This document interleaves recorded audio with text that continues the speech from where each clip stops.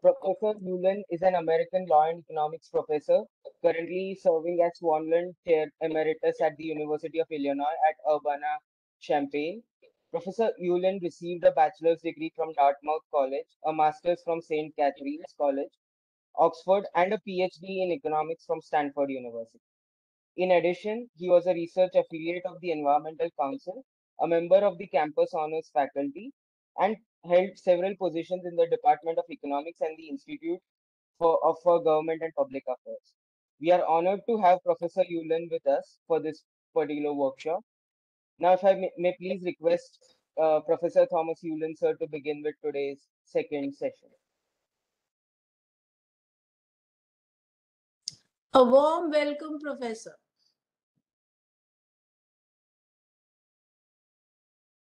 You are you are muted. You are muted, Professor. Good morning. It's morning here. Uh, Good afternoon, good evening to you all. Uh, I uh, see that there are a lot of people joining us, uh, and so congratulations, Hitesh. Congratulations, Renita. You've got a, a large group of people, and I I, uh, I look forward to, to interacting with you every day this week, uh, from Monday through Friday. Uh, Hitesh, I've got some uh, slides Professor- to present. Professor Ulen, just one, you know, one one intervention. Uh, Yeah. all this has all this has been possible thanks to um, you know your your handholding through the entire exercise over the last eight years. So the credit goes to you. Thank you. You're certainly welcome, and thank you for uh, all the many opportunities you've given me to interact with uh, you and your colleagues. It's been a joy. Um, I uh, uh, I usually do exactly what uh, Professor Nagar tells me to do. Uh, I found that to be a very sound way to proceed. I am going to give you five lectures this week. And it's a sort of an introduction of uh, a basic law and economics course. Um, and I have to say this to you. Um, what I call a basic course has changed very much in the many years since I've been teaching this. I started teaching this in an economics department in 1980. Many of you probably were not born uh, then. Uh, but one of the things that I have discovered is that this field has attracted a very large number of incredibly talented people. Uh, and as a result, there have been people all over the world working in this area uh, and trying to extend our understanding, uh, use, develop new applications of law and economics to, to practical problems uh, and doing fascinating empirical research to see whether some of the propositions of, of basic law and economics are borne out by a confrontation with reality. Um, it's uh, so the basic course that I'm going to teach you is going to, to be a little bit different than it would have been 5, 10, 15, 30 years ago. Uh, I hope uh, I will be able to share my slides with you as I proceed. Is that, is that okay, Hitesh?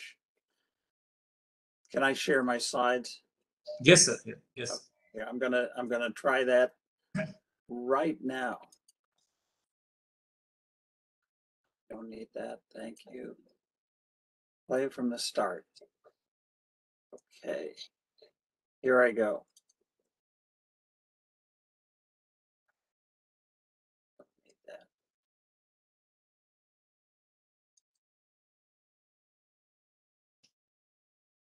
I'm getting there. I have to, I have to change my system preferences apparently.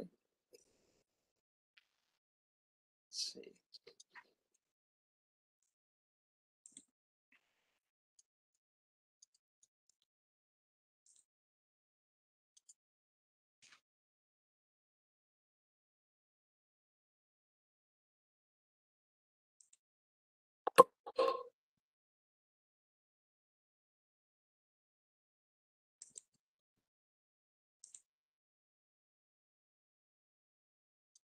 Okay, Hitesh, it says that I have to leave the meeting to share my video, so I'm not gonna do that. I, I just, I hope that, uh, let me see. Just, I hope you can do this for me. We'll see. Let me see if this works. Uh, no, it's, it's not letting me do that. Anyway, I hope you have my syllabus and, uh, the, suggest you have to go to share and then screen one, automatically it will share. uh, it says open system preferences to allow WebEx to share your content. I did that. Uh, so that should work. Should I, should I share behalf of you? Yeah, that would be wonderful if you would. Thank you. Yeah.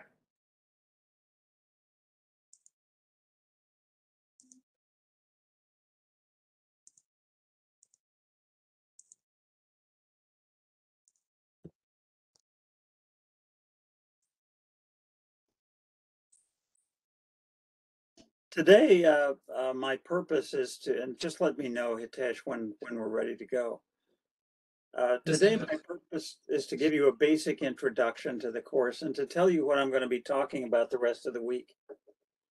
Uh, trying to get all of this uh, in one hour uh, and before your questions uh, is going to be a challenge. Uh, but I, I know that uh, Hitesh and Ranita will share this PowerPoint and the materials with you. Uh, and you can read those or look at them yourselves. If you have any questions, please feel free to contact me. On the syllabus, I put my email address. So can you send me the PowerPoint because I have your uh, P- PDF file, not PowerPoint. Okay. Well, darn it. It says that I've got, uh, got, uh, access to Cisco WebEx events and meetings. But I don't know if that, that's gonna work. Whether you have shared it to Ranita madam, your PPT? Uh, yes, yes, I'll just send it to you. Ah, just send it to me madam. Just in two minutes, we can start. Okay.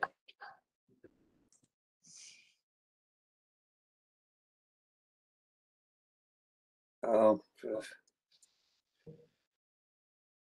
I'll, after the meeting, Hitesh, I'll restart the, uh, uh, Cisco WebEx so that it will recognize my, uh, my ability to share. That's the problem. Just, I will share it. I think Mad- uh, Ranita madam is sharing me. I will just share it in a one minute. Okay. Well, let me, let me proceed to just talk while you do this. Today, I'm going to talk about three things. Uh, I'm going to talk about some basic tools that you need to do law and economics. I know you know these, but I'll, I'll go through them very quickly. Then I want to do, do very briefly a discussion of law and social norms. I'll explain to you when we get to that part of the uh, uh, of the lecture why I think that's important for you to know that as a basic tool uh, of law and economics. And then thirdly, I'm going to talk very briefly about the limits to markets. Uh, one of the uh, one of the issues I always faced when I was teaching at the law school at the University of Illinois uh, was that my students uh, always thought that because I was uh, originally trained as an economist, I thought that markets were the answer to any question, any question at all. Uh, and so when I, uh, after many years of teaching, decided to include this section on um, the limits to markets, um, I was I was amazed uh, the, when I ask them questions like the ones you're going to see, uh, they would think, "Oh my goodness, he he's he's trying to trick us." Uh, he, he's an economist, therefore he thinks markets work for absolutely any social problem. Uh, but as you will see, there are limits. Tomorrow we'll talk about property law and economics. Wednesday we'll talk about tort law and economics. Uh, Thursday we'll talk about criminal law and economics. And then on Friday, we're going to try to do everything else in one hour.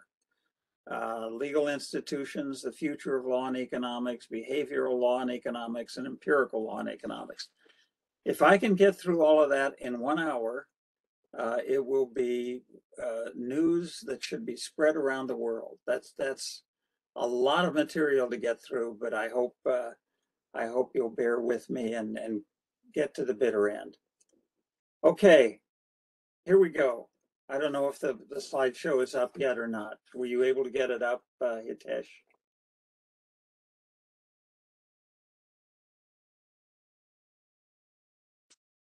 Okay, you, One, minutes, sir, but you can start, sir. I'm just doing that. So which slide should I put in? Introduction to law and economics, that first? The first one, the first one, lecture, the first lecture. It's titled lecture one.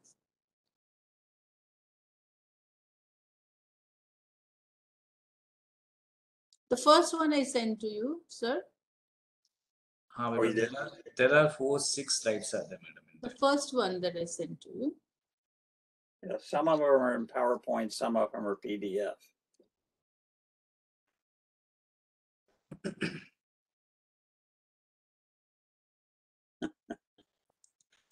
I have a friend who says, you, know very well that uh, PDF stands for portable document format, but I have a friend who says that PDF stands for pretty darn frustrating.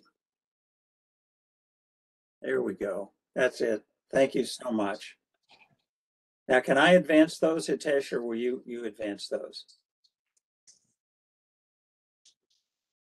Uh, Hitesh will, Hitesh will handle it, sir, Okay. because, yes.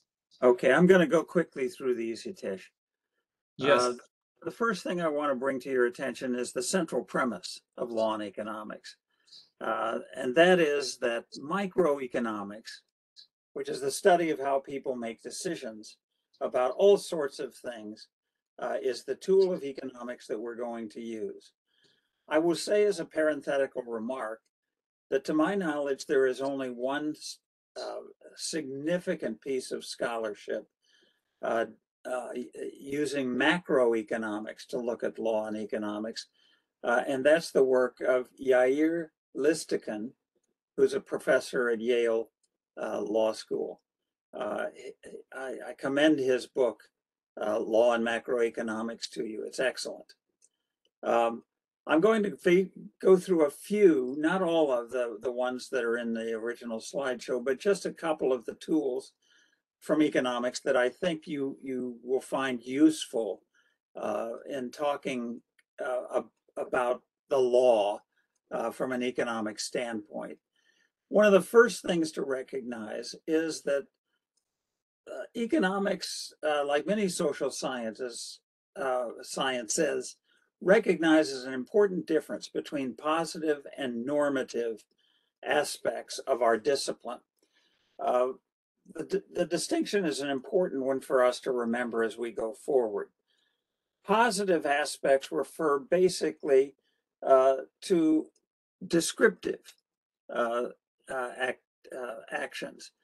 Uh, if we're interested in, in using economics to explore the positive aspects of legal issues, we're principally interested in knowing how people are likely to behave. These are hypotheses uh, about how people behave, not a discussion about how they ought to behave, but how in fact they do behave. Uh, because economics is such a, um, an important and powerful tool for talking about how people uh, behave uh, and make decisions, it's it's uh, extremely useful in the study of the law, where we we craft rules and standards designed to channel people's behavior into uh, um, socially desirable uh, ends. The other aspect of economics that I want to also call to your attention are the normative aspects. These are not what the law is is actually trying to do or what how people actually behave. It's a discussion of our aspirations and our goals. How should the laws be written to enforce the social goals that we articulate? How should they be enforced? Uh, how should they be, uh, how should people be sanctioned or punished uh, if they don't behave? Okay, next slide. Uh, another part of, of central economics is this very important phrase people respond to incentives. Uh, that's a bedrock assumption of economics. Uh, because law is a method of ordering society uh, to further social goals, laws seek to influence people's behavior. Uh, and, and the way we do that is articulate rules and standards that uh, cause people to behave in the way we want them to behave. We're trying to create incentives for them to do things that we, we as lawmakers, wish that they would behave. We can also uh, facilitate how people and groups uh, uh, ought to behave. Uh, corporations, other business associations are groups, uh, and we can influence how those groups make decisions by making the rules of business associations, including corporations, uh, have a particular flavor. Uh, a second uh, assumption slide. Uh, to put this into practice, I'm going to make this very obvious point. If, if we want to discourage an activity, we raise the price. I'm putting price in quotation marks because very rarely do we actually include a, a, a specific price uh, for performing a, in a particular way in the law. But implicitly, laws create prices or penalties uh, for uh, not doing something that we want people to do uh, or for failing to do things that we do want them uh, to do. So uh, economics is useful in, in providing a framework for seeing how people are likely to respond uh, to the legal implications. A third assumption that I want to bring to your attention. Next slide, uh, Hitesh. And that's that we're going to be looking at legal uh, actions from what is called the ex ante perspective. The ex ante perspective is the perspective that here we articulate a law uh, and we want to know how people are going to behave. That's to be contrasted with the ex post perspective, in which we're eager to see how people behave, did behave in, in regard to the law. I have found in my many years of working at the law school that uh, lawyers tend to focus on when things go wrong. Uh, they, they learn the law by looking at cases. Uh, a, a, legal dispute is by and large an, an admission that something didn't work right, that somebody did not behave according to the rules uh, that we, we hoped they would behave. Now, there's nothing wrong with doing things that way, with looking at the at law from the ex post perspective. That is, looking at litigation to try to understand what, what went right and what went wrong. But economists tend to focus on what's called the ex ante perspective. Here are the rules. How are people behaving uh, with regard to those rules? Uh, embedded in this is a sort of perception that uh, if um, um, if people are behaving according to the rules, there aren't going to be very many legal disputes. And in point of fact, it's worth remembering that in the United States, at least, empirical uh, studies have shown uh, that uh, legal disputes account for a very, very small uh, amount of human interaction. Uh, we believe that legal disputes account for only two to three percent of, of interactions that people engage in. That is, the vast majority of people try to inform themselves about what the law is and then conform their behavior to it. Two last assumptions. We assume that uh, legal institutions, the market for lawyers, the courts, the, the police, the prosecutors, all of the instruments of legal uh, enforcement are working well. uh, and there's there's no or very little corruption, uh, and and that uh, the, the courts can enforce the law as it's written uh, at, at relatively low cost. And this is a tremendously important assumption that I'm going to relax uh, later in the week. And that is with the, uh, we assume that we are dealing with rational decision makers, that everybody involved in the legal process is rational. Now, as you know, when economists say that people are rational, uh, they don't mean that they're uh, chess grandmasters. What they mean is that people can identify their the things that give them pleasure and the things that give them pain. Uh, they can assess their duties under the law. Uh, they can they can tease out the prices embedded in the in law, uh, and they can conform their behavior so as to make themselves just as happy as they can possibly be uh, uh, when complying with the uh, the prices that the legal system places on different kinds of behavior. Okay, tool number one, and I'm only going to go through two. I'm not going to go through all three of these in the interest of time. Tool number one that uh, is tremendously important uh, is transaction costs. Transaction costs are a uh, uh an aspect of the market economy that we we economists didn't pay attention to until really the 1960s. Uh, and the reason we pay attention to it is because of the work of a Nobel Prize winning economist, Ronald Coase, who said uh, in the 1930s, and it took 30 years for this to, to really work its way into the toolkit of most economists.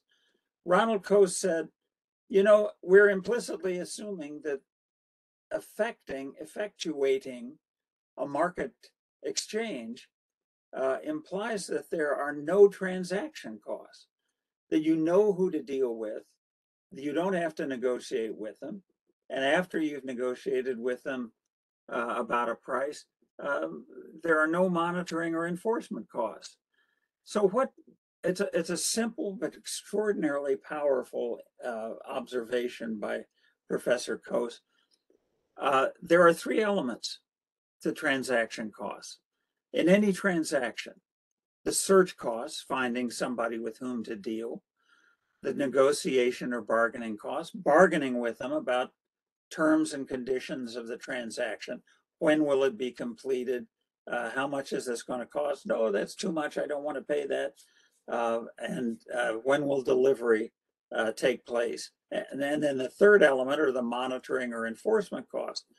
Sometimes transactions take a long time to complete. And there have to be costs incurred in monitoring whether people are behaving in this period of time uh, in the way that you hope that they would. A complex transaction like building a house, uh, building an apartment complex takes time. Uh, and the monitoring and enforcement costs uh, of making sure that things are arriving and being uh, constructed in a timely fashion are very important. The point to realize is not that transaction costs are always high or always zero. They can be any level at all. And uh, in, in talking about market exchange, all we're saying is, all Professor Coase asks us to remember is, when they're low, when transaction costs are low, markets, that is private bargaining, uh, is going to to work. Uh, we excuse me, we can rely on bargaining uh, to achieve the allocation of goods to their highest valued use. But in those circumstances where transaction costs are high, uh, then private bargaining may fail. Uh, people may not find a way to surmount the transaction costs. In that case, uh, law can perform the function of reducing transaction costs for people. And in fact, I'll make this statement uh, and I'll try to illustrate at various points this week. Uh, one of the most fascinating things that, that law and economics has discovered is that, at least in the area of contract law, but in other areas too, one of the principal things that the law does is reduce transaction costs so that people can engage in exchange uh, that, that benefits all the parties involved. Uh, we'll, I'll try to indicate how we do that in, in some uh, important uh, examples. So the, the key takeaway is be aware of the transaction costs in any, in any circumstance. Uh, let me give one or two, uh, I'll just give you one, uh, well, no, I'll give you two short examples. Uh, if you would like to have a Coca-Cola Light, as it's called in Europe, or a Diet Coke, as it's called in the United States, a Coca-Cola that has no calories. The transaction costs in finding and consuming uh, a, a Diet Coke are almost zero. They're available everywhere, or a close substitute is available almost anywhere. You don't have to bargain about the price. Uh, it's it's trivial, um, and there are no enforcement or monitoring costs. There can be, of course, if the Coke is not what you thought you you received, but in general, uh, that's an instantaneous transaction. It doesn't take time to complete, uh, and there's no haggling about price, and the monitoring and enforcement costs are zero. It's it's a, a good example of uh, very low transaction costs. Um, what fact? Oh, the other example I wanted to point out to you is a real life example. Uh, I'll pay you not to smoke. Uh, I was once at a conference in Sweden with uh, the great, uh, uh, uh, a great group of people, including a very distinguished English law and economics specialist. And he said to me before the meal began, I hope none of you will smoke uh, during the meal because it tends to affect the way I, I taste the food. And of course, we all said, oh, ab- absolutely, we won't do that. But then I noticed uh, that there was there were two couples at the table behind us in the restaurant, and three of them were smoking cigarettes. And I said to Tony, uh, I said, Tony, why don't you turn around and, and ask those people uh, how much money they would be willing to accept not to smoke uh, while we're uh, uh, eating. Now, here the transaction costs are not zero, they're not trivial at all. These people might be offended, uh, they might get angry, uh, they might cause a, a, scene. But nonetheless, Tony, bless his heart, uh, turned around and here's what he said. It's very important the way he put this. We're doing an experiment at the table here. I wonder if I could ask you not to smoke while we're here. They all said, Of course, we'll be happy not to smoke. And they put out their cigarettes, and both parties were better off. I think the key thing that Tony said in this transaction was, We're doing an experiment here. That sounds as if this is a serious undertaking. I'm not just asking this uh, in, uh, in a casual way. This is part of, of academic research. Uh, and that made the people more likely to concede with virtually zero transaction costs. They didn't want any money uh, not to smoke. Anyway, you'll have your own examples. What factors determine whether transaction costs are high or low? Is the transaction about something that is one of a kind, unique? Or is it something that has lots of substitutes? In American law, we call such things fungible. Um, if there are lots of substitutes, as there are, for example, for a Diet Coke, we don't need to worry about transaction costs there. We'll just go to a close substitute and buy one of those. The number of parties involved uh, can raise the transaction costs. If there are a lot of people who are going to be affected by the transaction, then they all have to consent, maybe. Uh, maybe they've uh, adopted a, a, a, decision rule that gives Hitesh the right to bargain on the behalf of all of the people in the in the group. In that case, transaction costs might be low. But if there's no bargaining agent to to to stand in the shoes of all of the people affected by a transaction, transaction costs can be very high, uh, and that presents an what economists call a collective action uh, problem. A third element is the complexity of the transaction. Does it have a lot of steps that have to be completed?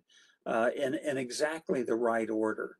Uh, does it involve a lot of suppliers who have to give you uh, things in order to complete the transaction?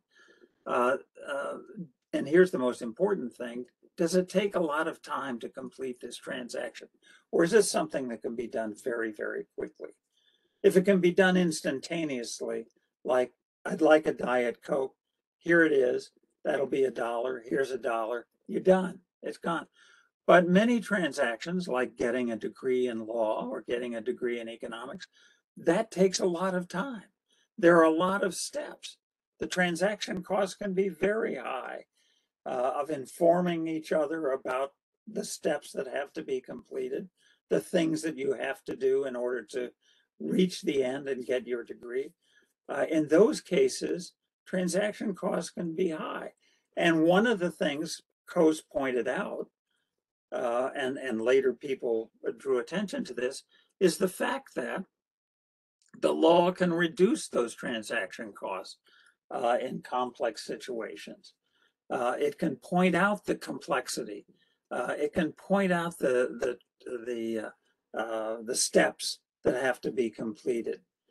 Uh, and finally, a fourth element is the, the clarity of ownership claims involved. If the ownership claims involved are not clear, then one of the first things you have to determine is whether the person you're doing business with has a, a, a legally enforceable right to sell you the thing that you're trying to buy. Uh, usually we take that for granted, but uh, one of the things you learn from from lawyers is that that is a risky assumption uh, to make. Uh, so next slide, please. All of this comes from a, one of the foundational articles uh, in Law and Economics, The Problem of Social Cost by Ronald A. Coase. It's a classic. And by that, I mean everybody knows what's in it. Very few people have read it. That's what a classic is, is about. Uh, but I highly recommend you're getting a, a copy of that article and reading it. It's beautifully written and it makes its points very, very clearly. Um, okay, uh, let me give you one other example. Tort law, which we'll discuss on Wednesday, tort law exists precisely because of transaction costs. Tort law deals with accidents between strangers. Not always. Sometimes it deals with accidents between people who know each other. For example, a physician and his patient or her patient. But when you're driving an automobile and you get involved in an accident, the chances that you know the person that with whom you had the accident are very, very, very small. Tort law exists so that we do not have to engage in bargaining with every single person who might harm us. And they don't have to bargain with us about the, who's going to bear the cost uh, of an accidental encounter uh, with us. I'll elaborate on this on, on Wednesday, but it's one of the most powerful insights of law and economics into an area of the law. And that is the recognition, the transaction cost can be that the law, uh, tort law in particular, has found a way to to deal with the fact that the transaction costs, the ex ante transaction costs between potential injurers and potential victims are so high that they cannot they cannot bargain ex ante about who will bear responsibility in the event uh, that there's an, uh, an accident. Next slide, please. One of the most famous uh, examples of, of the use of transaction costs is this classic article from 1972 uh, by Guido Calabresi, the former dean of the uh, Yale Law School, and also a, a judge in the U.S. federal uh, uh, system and Douglas Melamed, one of his students from Harvard Law School. Property rules, liability rules, and inalienability. I won't get a chance to talk about this in one of the most important aspects, and that's in in uh, uh, contract law. Uh, in contract law, we we can choose the remedy in the event that somebody has broken an enforceable promise. we can either specifically enforce, that's called specific performance. We could specifically enforce the promise, uh, that is compel the breacher to perform the promise that he or she said that they would do. Or we can simply say, uh, plaintiff, you're the victim of a breach.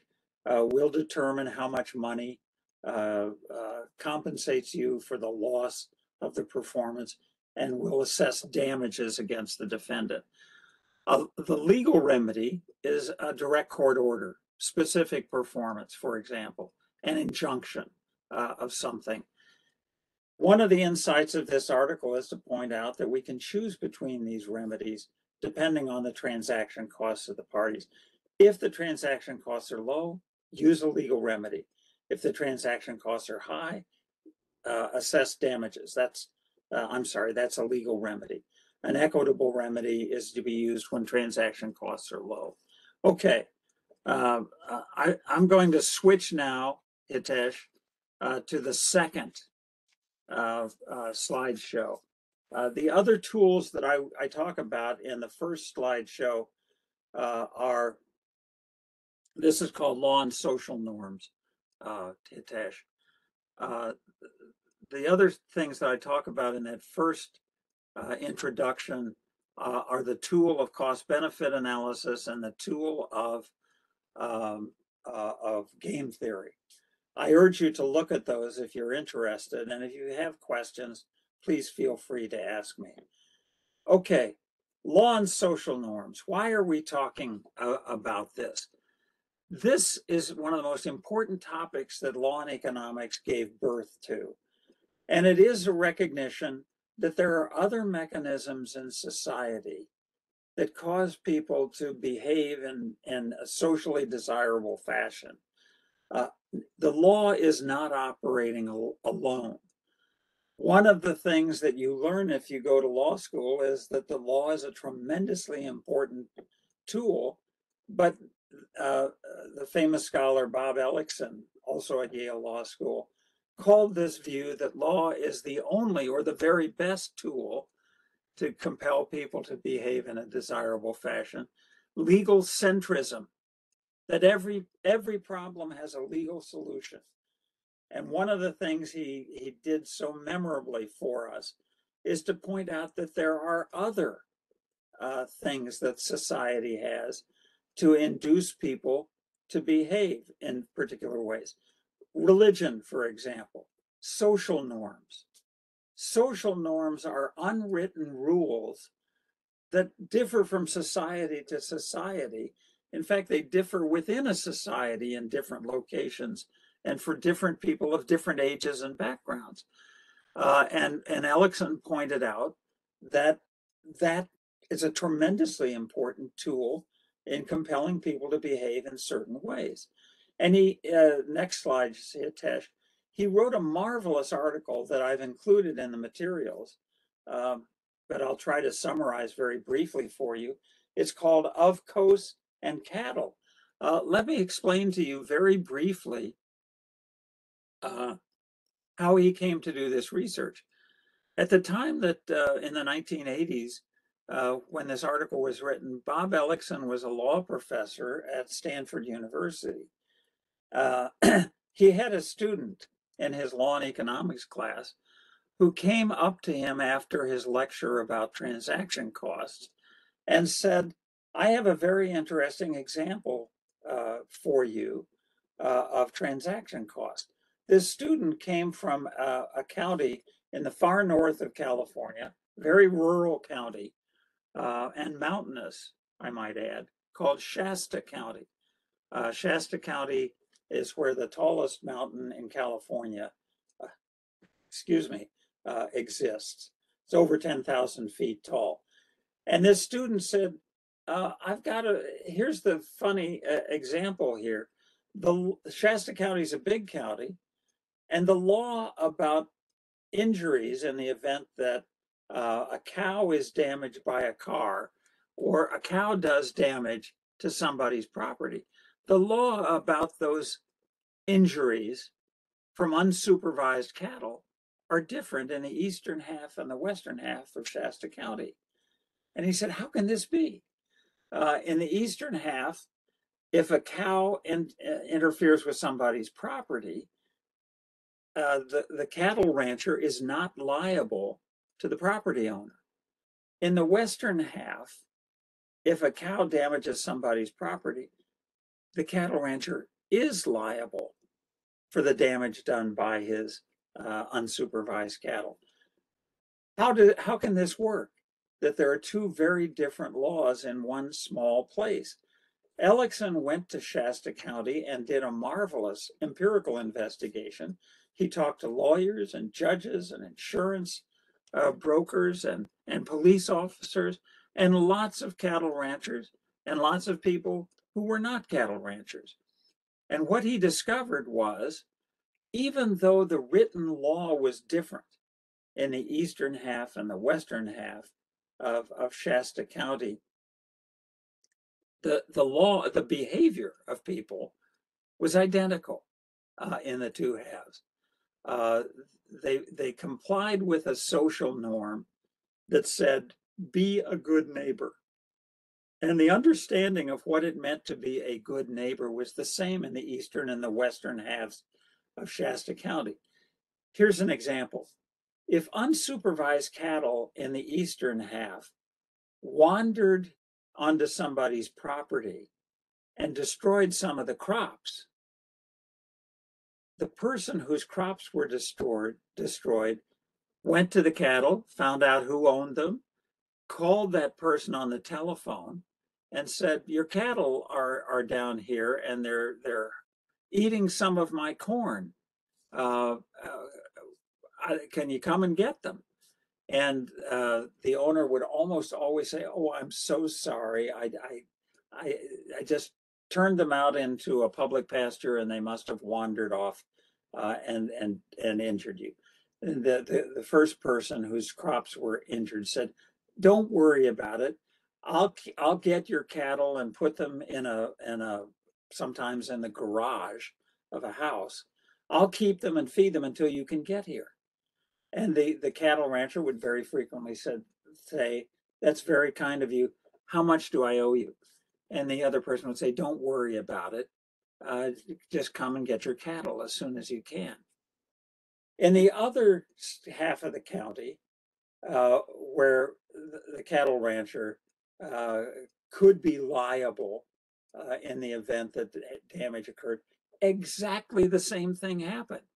If cattle wandered into people's property and caused damage, the person who was damaged called the cattle owner and said, I've got your cattle here. They were eating up my, my vegetables.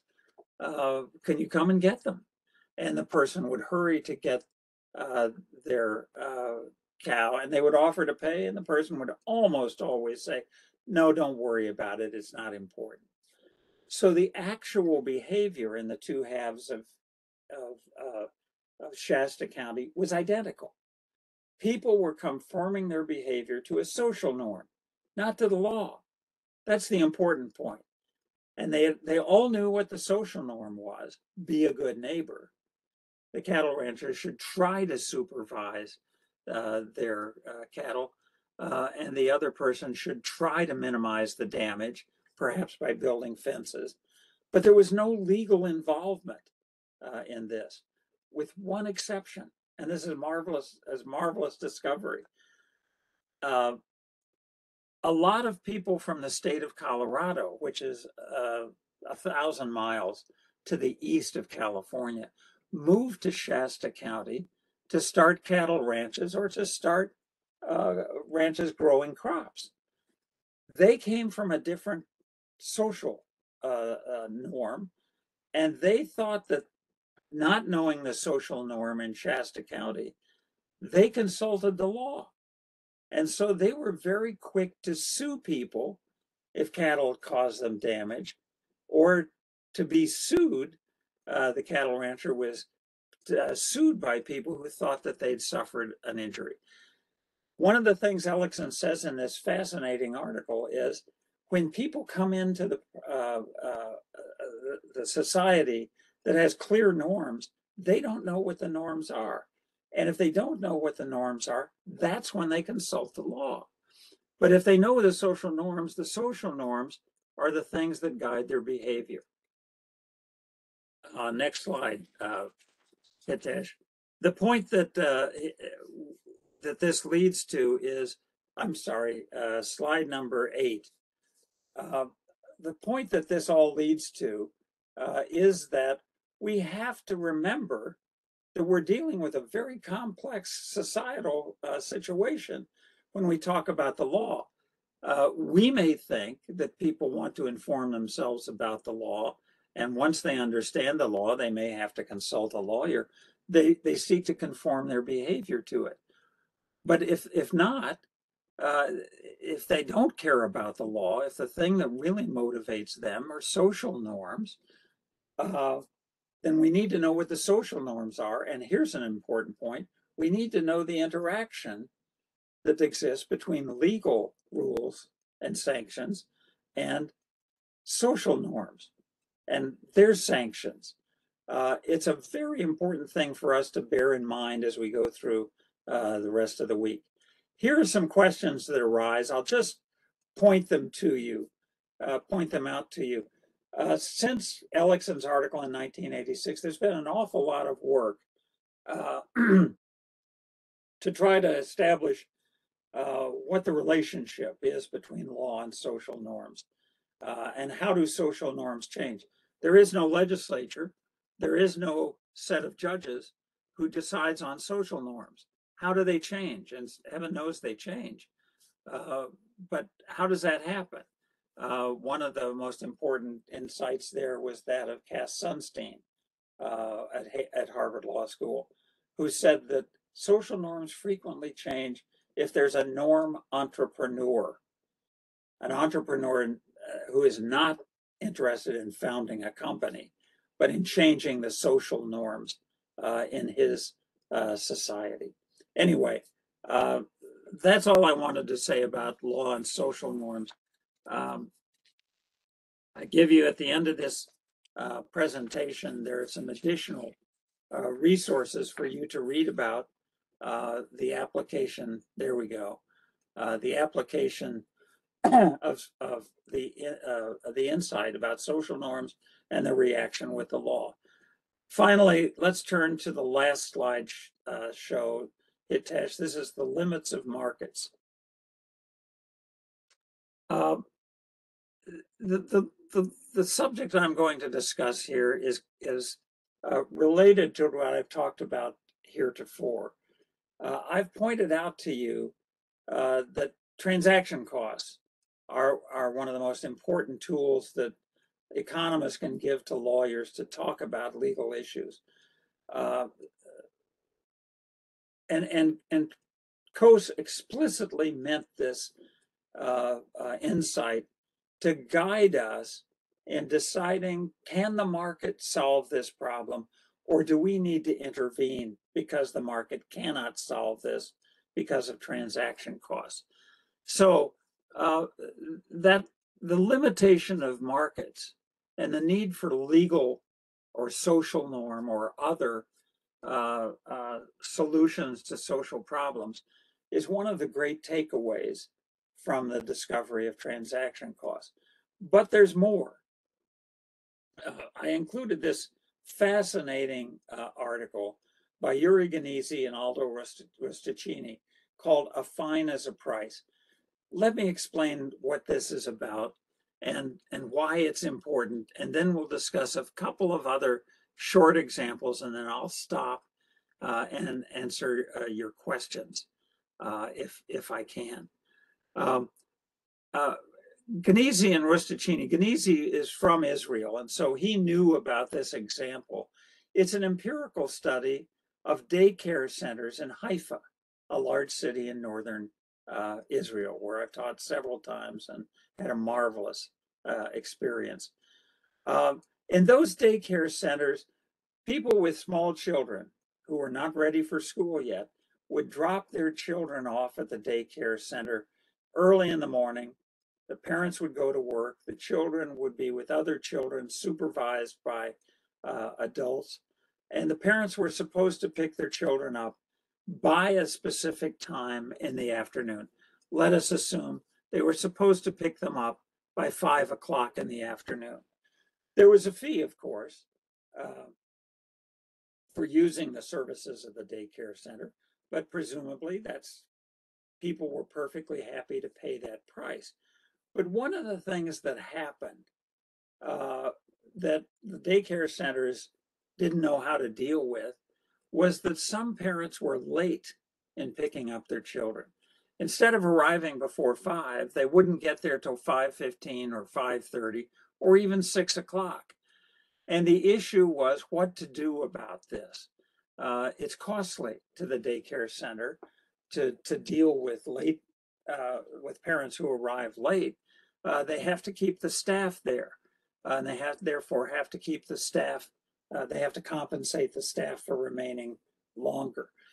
The the what Gneezy and Rustichini discovered was that the way that the daycare centers dealt with this issue was by asking the parents not to be late, just asking them. But then uh, Gneezy and Rustichini came on the scene and they tried an experiment. And the experiment was to divide the number of daycare centers, there were a lot of them, uh, into three groups. One group, uh, uh, the parents were told, please don't be late. The second group, the parents uh, were told, uh, um, we're going to charge you a fee if you're more than 10 minutes late in picking up your child. And then, I'm sorry, there were just two groups, not three groups, or maybe there were three groups, I can't remember, but they're two important groups for us.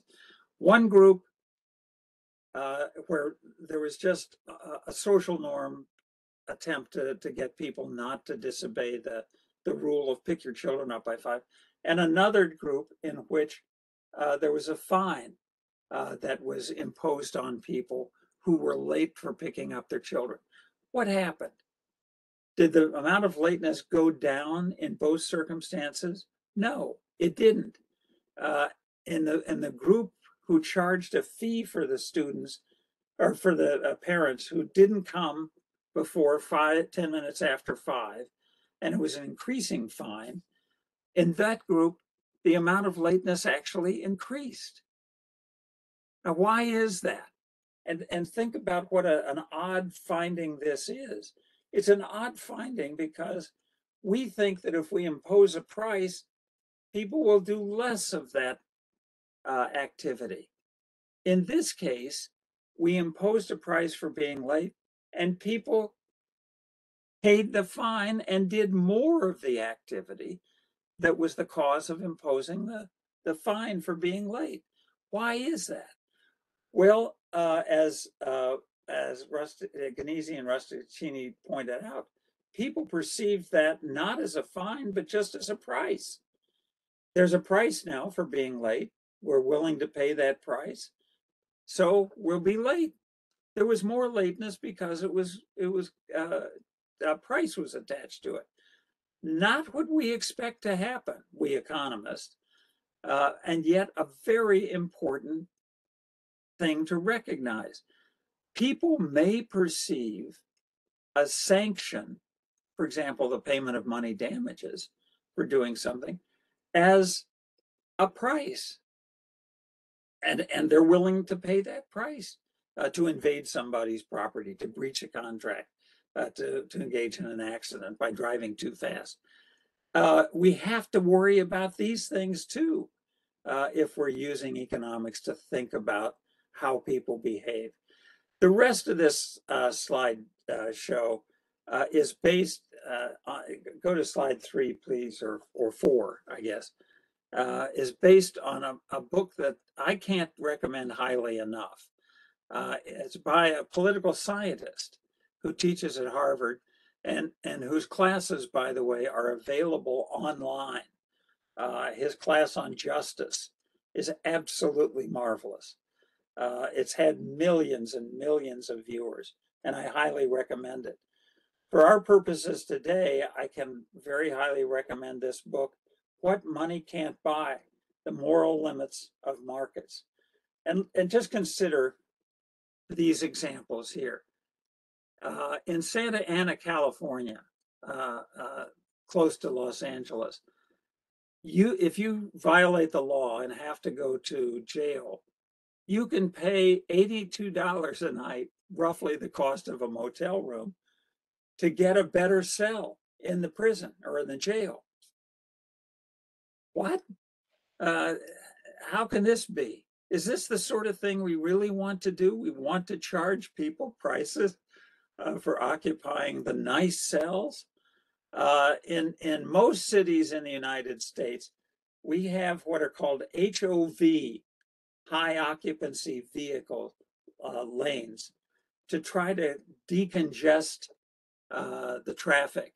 A high occupy high HOV, a high occupant occupancy vehicle, is one that has two or more people in it. And if you if you have a high occupancy vehicle, you can be in a special lane that typically goes much faster uh, than the lanes where there's only one person in a car. However, people who don't have two people in the car want to get into the high occupancy vehicle lane. Can they pay a fee to do that? Yes, you can. Uh, in Minneapolis in San Francisco, uh, in uh, New York City, and other places, you can pay a fee, even though there's only one person in the car, to use the high HOV lanes uh, that allow you to go faster. Um, in uh, in Canada and in, now in the United States, you can buy the right to emigrate into Canada or the United States. Uh, there are usually conditions uh, on that, but uh, you have to uh, create 10 jobs in a high unemployment area. Uh, but if you will, are willing to do that and pay $500,000, you can immigrate into the United States.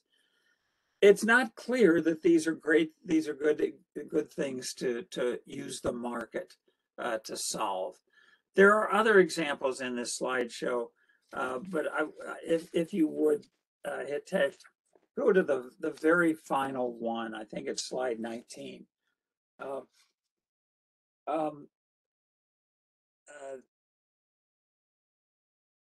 one of the things that, that Sandel's marvelous book causes us uh, to think about is what things ought not to be solved by the market, what things ought to be solved by explicit laws that require or forbid certain sorts of things. Um, and and one of the thoughts I want to leave you with, and then answer any questions you might have, is this marvelous quotation from Kenneth Arrow. As, as many of you know who studied economics, Kenneth Arrow was a giant uh, in, in modern microeconomics. Uh, I had the great fortune, good fortune to have him as one of my instructors uh, in graduate school.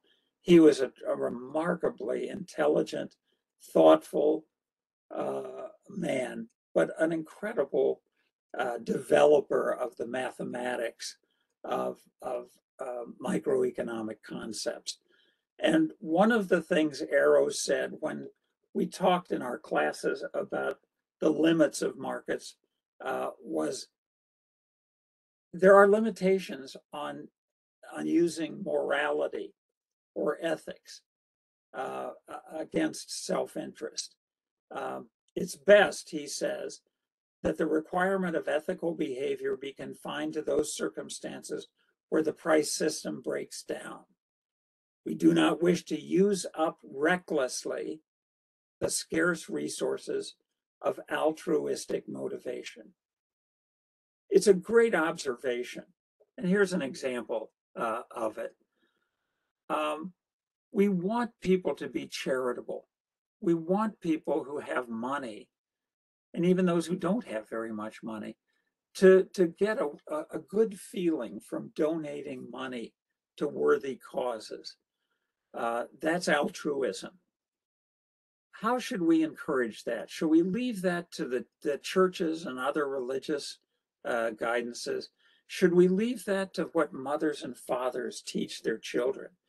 Or should we encourage it through the tax system? Should we give people a tax incentive for the, the charitable donations that they give. Well, then if we do, and people increase their donations, it's good that the donations increase, but did they increase because of people's warm feeling of altruism, a moral good feeling, or because we gave them a tax incentive to do so? Those are the sort of things I think that modern law and economics needs to think about in the back of our mind when we talk about the legal solution uh, for societal problem. Okay, it's 8:34 here in Champaign. I'd be happy to answer any questions you have. Can I access uh, the questions? Uh, Hitesh, are they are they here somewhere?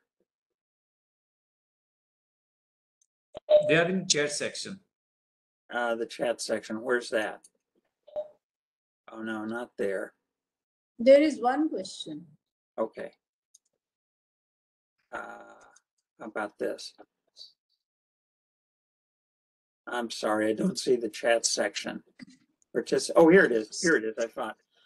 it. Uh, from Dr. Chauhan. Uh, I think recurrence of these social nuisances made them to resort to go to law. I agree with you. That's a really good uh, point. If people are violating the social norms repeatedly, then people go to the law uh, for their for their solution. Um, and that raises one of the most important points I, I, I outlined in that uh, presentation at the end of the presentation. Uh, uh, one of the best uses of the law is to solve what are called end game problems. Uh, people are engaged in, in interactions, which are very often productively looked at uh, uh, uh, uh, through the tool of game theory. But sometimes they can't find their own solution to the problems. And rather than have them resort to violence, we don't want that to happen. We can step into the situation and impose a legal uh, setting. That's what happened in the United States in the 1960s and 70s in the southern United States, where there was rampant uh, discrimination against Black people. Uh, there was violence between blacks and whites and and no social norm could seem to solve that problem so the law had to step in and provide a solution uh, that those are obvious examples uh, dr chauhan but i hope that you and others in this class are thinking about can i articulate a reason or a, a theory or a model of the circumstances in which social norms are not going to work and why they're not going to work uh, so that we can identify those situations ex ante. Okay. Any other questions? Can I sir ask one question, sir? Sure, please. Uh, I don't know, but like whether you you are concluding in this way that uh, generally law and economics was developed based on the market-based principle, and uh, putting price, yeah, putting cost, yeah, putting uh, market denominators terms has slowly, gradually, from the repeated game theory point of view, uh, from the consequences point of view, people were people were knowing about what will be the consequences what is the cost in that uh, uh, the system is going towards the something where the ethicals value yeah social norms yeah the normal humanness is uh, somehow somewhere uh, going in a different uh, level. That's what am i correctly concluding yeah you have something else to to add sir? No, I think that's exactly right. I think you're absolutely right. Uh, I would make this this brief observation. I hope it's brief. Uh, uh, my my sense is, from my many years on this planet, uh, uh, is that uh, social norms are a very very powerful motivation for the vast majority of people uh, in deciding what to do, uh, and um, it's it, it's it's in rare circumstances like the one Dr. uh, asked me to, to talk about. Very rare circumstances where social norms break down completely.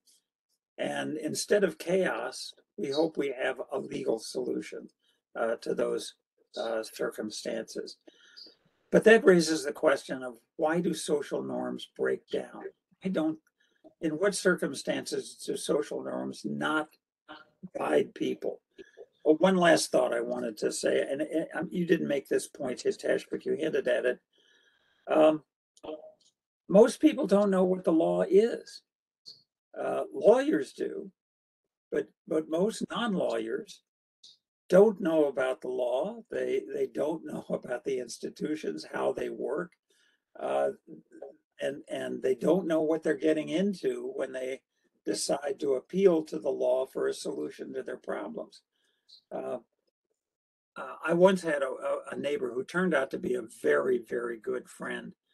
Who, when he first uh, came uh, to live next to me, uh, was was very upset about um, where the property line was between his property and my property.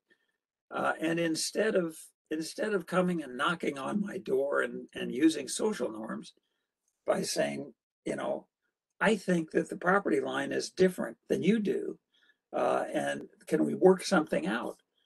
Uh, I got a I got a phone call from his lawyer uh, uh, about uh, this issue.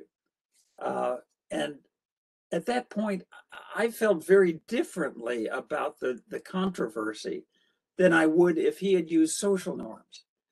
Because when you invoke the law, you very often have, have increased the, the, the uh, anxiety of the situation. Uh, you know, uh, uh, our very my favorite United States president, a wonderful, wonderful man named Abraham Lincoln, once said, uh, You can catch more flies with a small amount of honey than with a bucket of vinegar. Uh, and what he what he meant to indicate was being kind and sweet serves you much better than being sour uh, and resorting to the law too soon. It's a wonderful, wonderful expression. Thank you, sir. Pratik, you have question you can unmute and ask. Sir, uh, you uh, there was a quotation that you shared uh, which said uh, about breakdown of price system, sir. Can Yeah. you uh, give an example or throw some light on what would uh, qualify as a breakdown of price system? There was an example of uh, surrogacy uh, on that slide. So would we say that surrogacy per se would be a breakdown of price system because of ethical angles involved? Great example and, and great question. Um, that example I included because Michael Sandel, who I, for whom I have the greatest uh, respect, gave that example in his book. He didn't think that paying for another person to to bear your child uh, to term, as we say, uh, was was a, a legitimate use of the price system. I question that, and I think you may too. I think it might be a perfectly legitimate uh, use of the price system. I don't think that's that's a moral infraction uh, at all. Uh, it seems to me that everybody involved, including the child, is benefited by this transaction. So I, I if if we had had time, I would have made this point that you've just asked about that that some of the examples that uh, uh, Sandel gives, I don't think illustrate his point very well. Some do. I think that charging $82 a night, uh, if you'd like to have a private cell in a jail, uh, that sounds outrageous to me. But paying somebody else uh, to bear your ch- your child to term, that doesn't sound awful to me. Frankly, by the way, it doesn't sound awful to me to pay eight dollars a day for a person to have use to the high HOV lanes, the fast moving lanes. Uh, I, I, don't find that to be a misuse of the price system either. Uh, uh, there are other examples we didn't get to that that strike me as on the edge. One of them has to do with a young woman in the state of Utah who was a single mother and had a, a child who had special needs. Uh, he was mentally disabled and he needed to go to a special school. She couldn't afford to do that. But somebody offered to pay for her enough money to allow her child to go to school if she would put an advertisement as a tattoo on her forehead. And the, the, the tattoo was an advertisement for an airline. Um, and and she got paid enough for she did it. And she got paid enough for her child to go to uh, to the school. I found that to be just it, that's on the borderline for me. Um, i don't i don't think a mother who has special needs ought to have to re- to do that sort of thing to get help. Uh, there's a better way to do this. Uh, and and maybe the responsibility falls on all of us through the tax system to give her the money to have her child appropriately educated and and having her have to it's a permanent tattoo she can't get rid of. That's that's horrible i think. Uh, but my students this was interesting my students thought that every one of the examples that Sandel gave that I would like because I'm an economist, but I was trying to get them to see that some of these examples are horrible uses of the market system. Others, eh, not so bad. And so, for example, the one you pointed out, the surrogacy, I find that perfectly legitimate. I'm sorry, I go, I went on for too long. Thank you. Thank you, sir. Akshay sir, you have some question. Uh, Yes, sir. Thank you. Thank you very much for this enlightening talk, sir. So my question to you, since you mentioned the discrimination of blacks in 1960s United States. So as you may be aware, the Heart of Atlanta Motel versus USA 1964 judgment. Now that judgment came into existence due to the economics because the Heart of Atlanta Motel was an uh, motel situated at the interstate and whereon the jurisdiction of law was invoked that whether the Congress has the authority or has the jurisdiction per se to invoke in regulating trade and commerce. So my question to you is, sir, is are the limitations of law and social norms always rooted in economics? Because based on this example and also the example of the cattle ranchers you gave in the state of California. I hope my question is clear, sir. Oh, it is. It's an, and it's a fabulous question. Uh, thank you. Uh, I- I- let me just say a couple of things about this. Um, I think your example uh, and our ongoing issues of, about discrimination um, of, of blacks by whites has been going on for hundreds of years. Uh, in 1865, uh, in the United States, as you know, uh, the Congress passed the 13th Amendment outlawing slavery, slavery in the United States. Uh, that law did, I mean, I, find that to be a marvelous and wonderful thing. To, no, no society. I'm, I, I, I'm, I want to be cautious about this. I dislike slavery and I think it's a bad thing, and I'm glad it's outlawed. And I think it should be outlawed everywhere. However, I think one of the points you're you're you're making is an extraordinarily good one, and that is that even something like a, a, a, a constitutional uh, declaration about what is right and wrong, and then, as you rightly pointed out, the 1964 judgments by the United States Supreme Court, those haven't changed a lot of behavior. Uh, and that's partly because what needs to change is not so much the law, but rather the hearts and minds of the people involved. Um, and and that's the difficult thing to figure out a way to to do.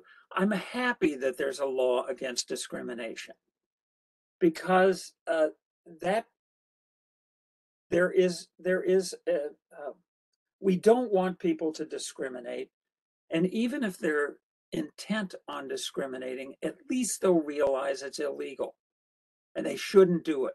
And if they're caught and sanctioned, it could be very costly to them. I think that's great. Uh, I'm not sure that will change the hearts and minds. But over time, the social norms need to change.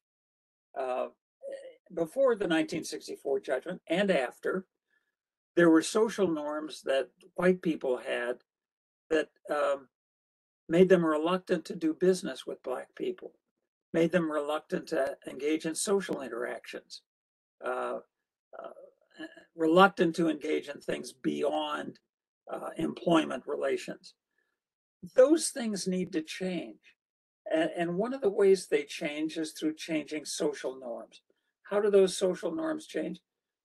We, we don't have a good model of that. We really don't understand that very well. I strongly suspect that there may be changes, legal changes, uh, that can cause this. For example, uh, creating situations in which blacks and whites interact more has a tremendous im- important uh, role in changing social norms. So the many laws that we have that for that that call for blacks and whites to to be educated together in the public schools. And if if there's geographical sorting so that people go to black schools and people go to white schools depending on where they live, let's have them mix and mingle. And if that happens, it's all good. It can be good. If there's housing discrimination, let's forbid that so that blacks and whites are neighbors. And uh, uh, if they're neighbors, they'll realize that these people are just people like you and me, and that's good. Um, but it's it's a long process. Uh, I went uh, all my life. I went to uh, uh, grade school and high school um, with um, um, blacks. I played basketball with them. I interacted with them. We went to parties together. We did things together. But after high school, when I got to college and graduate school and then became a professor, my interactions with Black people became very rare. And I dislike that. Uh, and, and therefore, how do we increase that? I think affirmative action is a, uh, a an important social tool to cause these social norms to change. Whether they're effective, I don't know, but it, it and that's something we need to know. But it's a great question. Thank you. Uh, so, so just to add on to that, you've answered my question, mean, satisfactorily, but my question was that are these rooted in economics? Because the 1964 judgment was also because of economics and the example that you gave of cattle ranchers. Because maybe the ranchers wanted to avoid the legal costs, so maybe they had a social contract within themselves. So, uh, I mean, could you elaborate on that? Um, I, I, I can't do that very well, but because it's such a good question and it pushes me beyond the things I know about. Now, usually having made that statement, I'll then talk for 15 minutes. Uh, but I'm, it's such a good question, and I agree that it's a very important question that uh, the costs and the benefits and how they're distributed and who bears them are tremendous. They're always tremendously important questions. I don't, I don't No know. problem. Facts No problem. You can answer that anytime. Thank you. Neha, you have any question? The last question, and then we can conclude.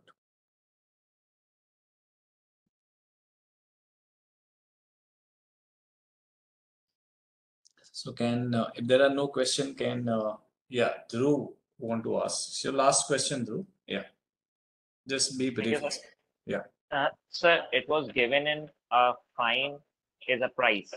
Uh, that it is important to recall that economic analysis of the effect of a punishment on behavior is not direct and requires instead a complete specification of market forces. Can you Yes. please elaborate that a bit? Oh, I wish somebody would ask an easy question, but easy questions are not, not fun. These are good questions. You know, I think uh, one of the things I always ask my students to think about is in the situation of the Gneezy and Rustichini uh, argument, um, was the, was the price charged to the parents who, who didn't come, was the price too low? I, if that's the thrust of your question, I agree with it entirely. Making the price, making the sanction high enough is key. Uh, and, and in the, uh, in the article, I think Gneezy and Rustichini raised this point. Uh, it wasn't a very high sanction. Uh, It's very modest. Uh, and I think any economist, including Gneezy and Rustichini, who are superb economists, would say the price wasn't high enough. If it was, it was, if it was much higher, parents would have behaved differently. Same thing is true in, in criminal law and in anything else too. Uh, we've got to set the price correctly.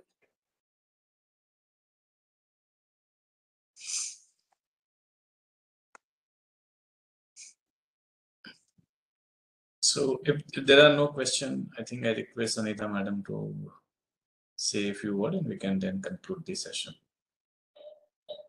Uh, Dr. Thakur, can you, will you permit me some questions, please? I think that will be more. Yeah, yeah, either question, yeah, either concluding. Uh, Professor Ulen, every time we attend your sessions, we just learn more and more. and like I said, that from day one, you know, at least you'll have one serious student. so that's been so many years. So what came to my mind is this. Um, according to Coase, we say transaction law can reduce transaction costs, you know, to make everyone better off. Would it be correct that in the face of uh, subprime crisis, asset price bubbles, and so on and so forth, if we trace all of that, would it be all right to argue that uh, the transaction costs, especially in um, business laws, have been made so low that it's created inefficient outcomes, as we see, you know, uh, when the bubbles burst? Can it be attributed to the law uh, going too low on the transaction cost part?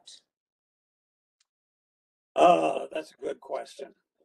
Um, I don't know enough to, to, to speak a, a long time about that, but I recognize the point you're making and it's a very good one. Sometimes, uh, uh, we make the transaction costs so low that, uh, the results are, are not desirable. I think that's part of what you're saying.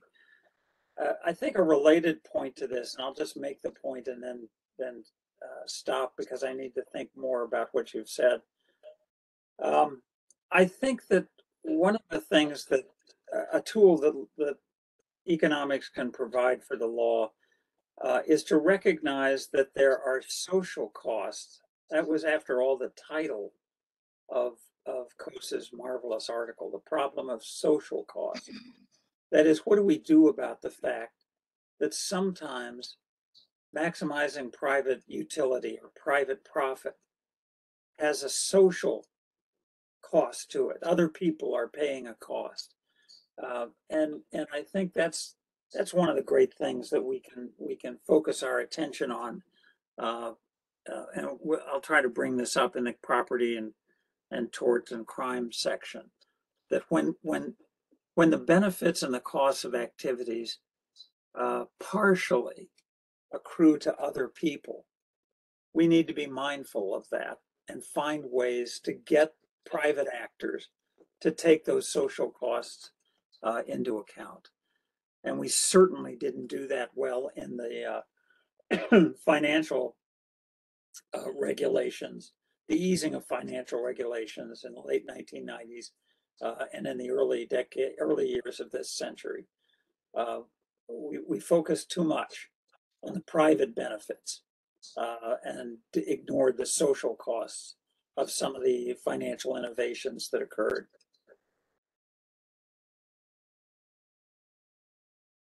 And also, sir, uh, social norm vis-a-vis the law. Um, would would we not say that both have a circular cause and effect kind of a, you know, motion? you know? That's right. I think that's right. You mean that social norms cause laws and laws cause social norms to change? Yeah, you're absolutely right.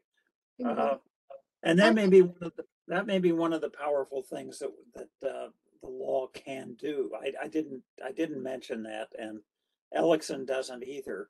Uh, but there are certain circumstances uh, in which the law creates the social norms uh, to behave in the way that we want, that that that, that motivated uh, the enactment of the law. Uh, and if it does so, then uh, social norms and law are working together, which I think is a great. Uh, uh, uh, that's the best of all situations. The situations that that many of the questions envisioned were where law was pushing this way and social norms were pushing that way. And how do we get them so that they're both working together? And I think your point's an extraordinarily good one. It, it recognizes that sometimes social norms change just because the law changes. Um, which And I- and and maybe many a time that's not good. that, that's, a- that's exactly right. And That's ex- then you need and then you need another law to bring back those social norms. I mean, Well, I, right, and, and I, I, I don't, I, I'd like to think about the circumstances uh, in which law has created social norms. Uh, and I'd like to think about circumstances in which social norms were bad, as in the South and in the United States, absolutely, absolutely. and, and how, how those, how we get those social norms to change. That's what I, was in, in one of the questions uh, that I think Akshay was asking. How do we get the law to get social norms to change? So we can get the social norm to change maybe by and uh, you know because because social norms are primarily economic constructs. Yes, yes, yes. So if And we but- change, But then you get the problem that I, I, I hinted at uh, in one of my last comments was that people, uh, you know, donations to charitable organizations increase. But is that because people became more generous? Uh, they cut back on their own consumption in order to give money to people who are in needy circumstances? Or are they just doing it because it gives them a tax break? Their hearts haven't changed. They're, they're, they're induced to behave in a good way by the tax law. It's not that important to me. Uh, I would rather people be motivated by, by thoughts of charity and the like, but if the law can get them to behave as if they were motivated by a social norm of being generous, that's a good second best. there is so much to sir, discuss on this, and Hitesh sir has already said that the uh, last question.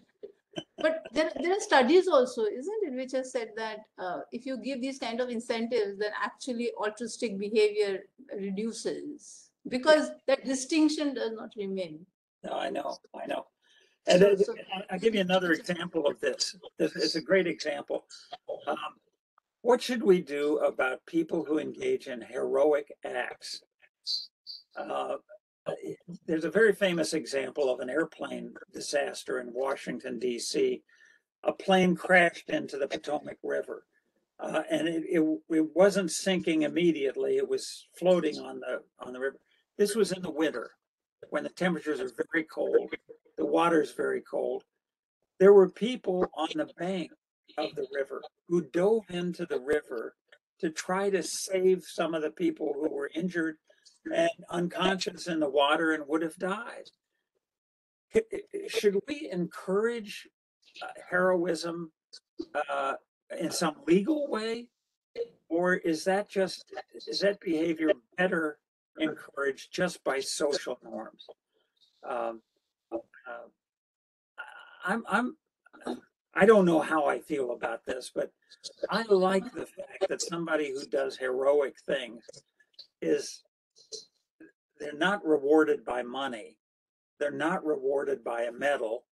They're, they're rewarded by the inner, the inner feeling of, I did something selfless. I risked my life to help somebody else live. I wish, you know, I, I don't know that that leads to, let me just put it this way, I'm an economist. I'm not sure that leads to the optimal amount of heroism. And there are situations, we had one that's, uh, one of these last year in the United States where a, a, a madman with a gun went into a school and started shooting, killed a lot of children. And the police didn't do anything. They stood and watched and tried to put down your gun. They, they just tried to get the guy to behave rather than doing something heroic. Wish they had. I think they were expected to.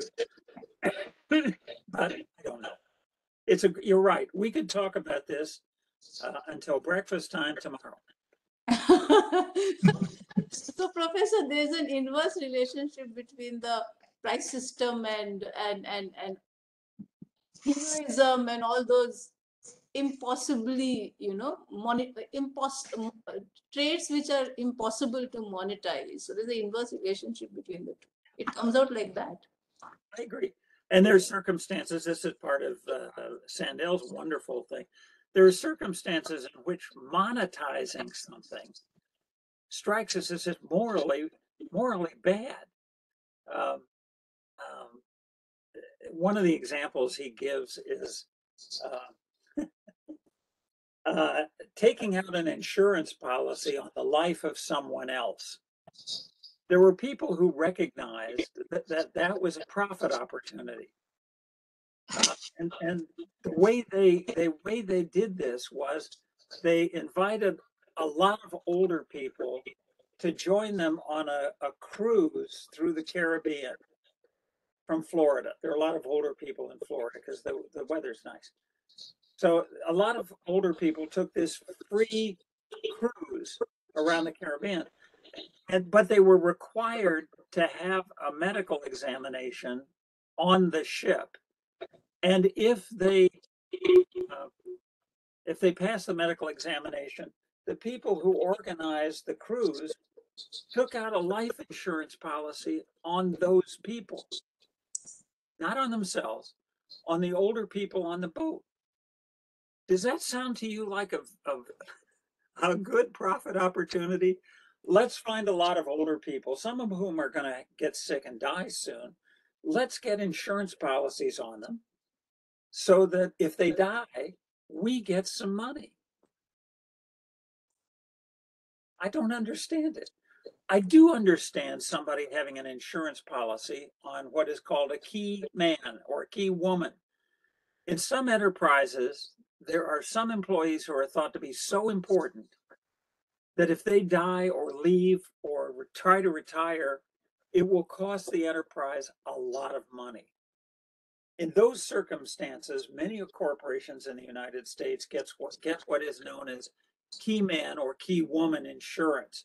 Uh, uh, so that if something should happen to this person, the, the corporation will be compensated so that they can look for a replacement. I, there's nothing wrong in, to, uh, I don't find that any, nothing wrong with that. But there are other examples in the Sandel book that I, I, I urge you to look at because they're just, they're just wonderful. Can I say one line? Sure.